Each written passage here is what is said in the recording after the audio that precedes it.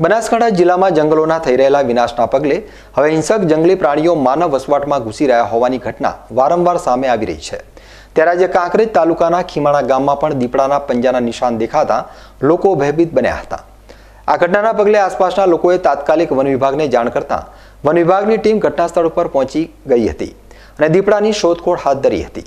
પરંતુ દીપડાનો કોઈ જ પત્તો મળ્યો ન હતો. વન વિભાગની ટીમ દ્વારા અનુમાન લગાવવામાં આવી રહ્યું છે કે દીપડો ખેતરના માર્ગથી મોતીપુરા જસાલી ગામ તરફ જતો રહ્યો છે. પરંતુ ખીમાણા ગામના લોકોમાં દહેશતનો માહોલ હજુ પણ જોવા મળી રહ્યો છે.